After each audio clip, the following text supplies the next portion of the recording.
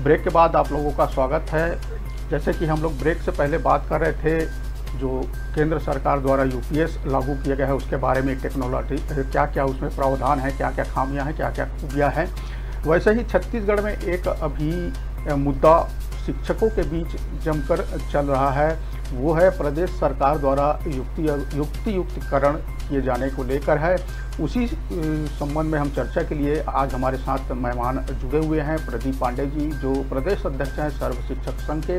उन्हीं से जानने की कोशिश करेंगे कि क्या है युक्ति युक्तकरण क्योंकि आम आदमी के समझ में नहीं आता कि यह क्या है युक्ति युक्तकरण प्रदीप जी, आपका स्वागत है। तो क्या है प्रदेश में जो युक्तियुक्तकरण का आप लोग विरोध कर रहे हैं, किस कारण से कर रहे हैं? देखिए नवीन जी, धन्यवाद आपका कि आपने इस बहुत ही महत्वपूर्ण मुद्दे को अपने डिबेट में शामिल किया है।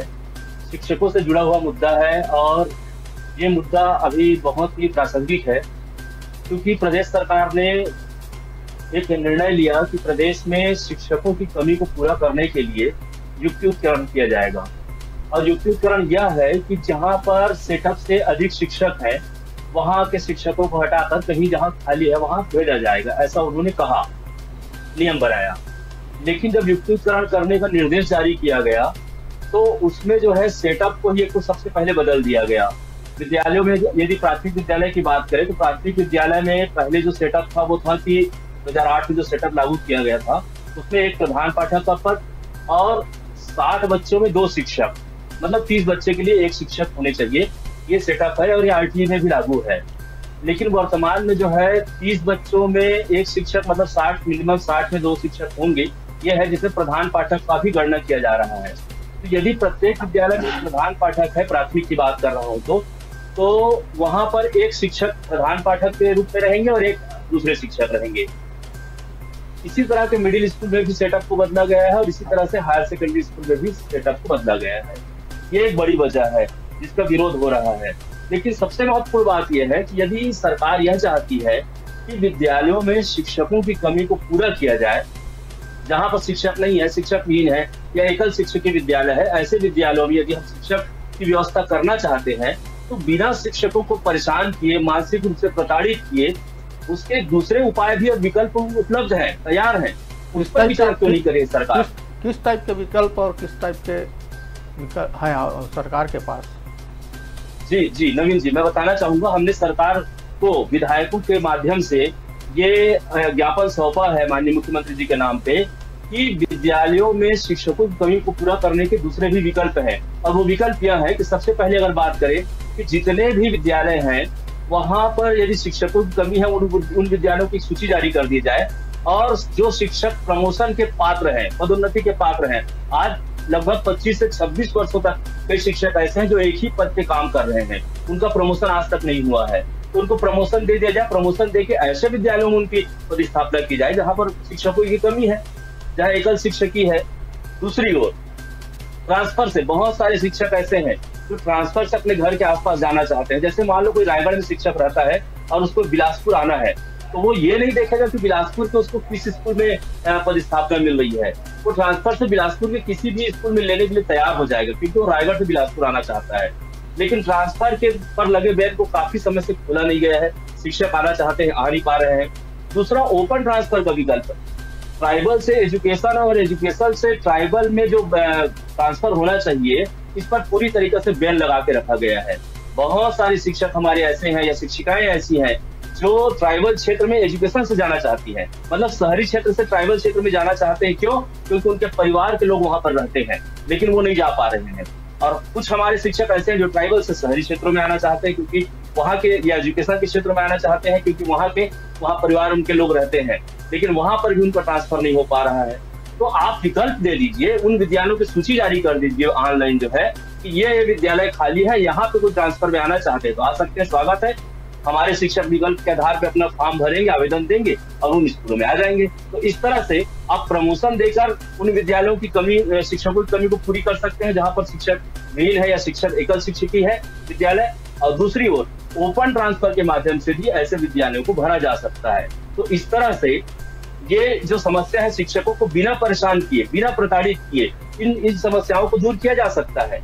लेकिन अधिकांशतः ये होता है कि शिक्षकों को परेशान किस किस तरह से किया जाए, शिक्षकों को प्रताड़ित किस तरह से किया जाए, ऐसे नियमों को तत्कालिक लागू किया जाता है। आप प्रमोशन में देखिए प्रमोशन में कैरियर दायर नहीं किया गया। प्रमोशन लटका रहा, प्रमोशन चलते रहा, वो साल, दो साल, तीन साल तक की प्रक्रिया चलते रही, बहुत सारी उसमें होते रहती है। लेकिन जैसे युक्तिकरण करना है तो उस आदेश, निर्देश को निकालने से पहले केबियट दायर किया गया, और जब तक केबियट दायर नहीं हुआ, तब तक उस निर्देश को वायरल नहीं किया गया, प्रसारित नहीं किया गया। तो इससे सरकार की और अधिकारियों की नीयत साफ़ समझ में आती है। और इसमें मैं यह अभी भी कहना चाहूँगा कि आने वाले समय में ये बहुत बड़ा भ्रष्टाचार का एक मामला बनेगा, बहुत सारा भ्रष्टाचार का साधन भी बनेगा, ये युक्तिकरण में जो प्रक्रिया अपनाई जा रही है। सरकार तो जैसे कह रही थी, हम पिछले विधानसभा सत्र में जो शिक्षा मंत्री थे, ब्रिजमोहन अग्रवाल, तत्कालीन उन्होंने कहा था, शिक्षकों की भर्ती की जाएगी। एक बड़ा मुद्दा है शिक्षकों की भर्ती को लेकर। आए दिन हर साल शिक्षकों की भर्ती की कुछ न कुछ होती है, मगर होता कुछ नहीं है। कहाँ मामला आकर अटक जाता है? अगर शिक्षा भर्ती होती है तो क्या युक्ति युक्तकरण करना सरकार को पड़ेगा या शिक्षक भर्ती करें तो इससे बचा जा सकता है? इस पर क्या कहना चाहेंगे?